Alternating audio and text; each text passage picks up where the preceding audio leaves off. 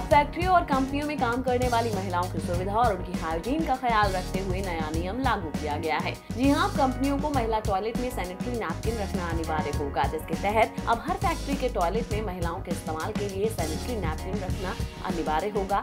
ये नियम भारत सरकार के श्रम मंत्रालय ने आठ फरवरी को मॉडल फैक्ट्री रूल्स के तहत नोटिफिकेशन जारी करके लागू किया है।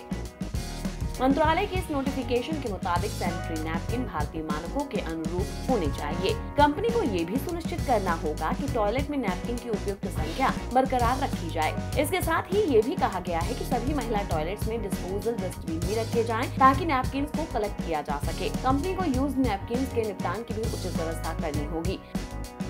आपको बता दें कि जुलाई 2017 में जीएसटी लागू होने के बाद सैनिटरी नैपकिन पर भी 12 फ़ीसदी टैक्स लगा दिया गया था, जिसके बाद तमाम महिलाओं और सामाजिक कार्यकर्ताओं ने इसका विरोध किया था। और इसी विरोध के चलते पिछले साल जुलाई में सरकार ने सैनिटरी नैपकिन पर से जीएसटी को पूरी तरह से हटाकर इसे टैक्स फ्री कर दिया था। फ़िलहाल इस नियम के लागू होने से महिलाओं को ज़रूर आसानी होगी।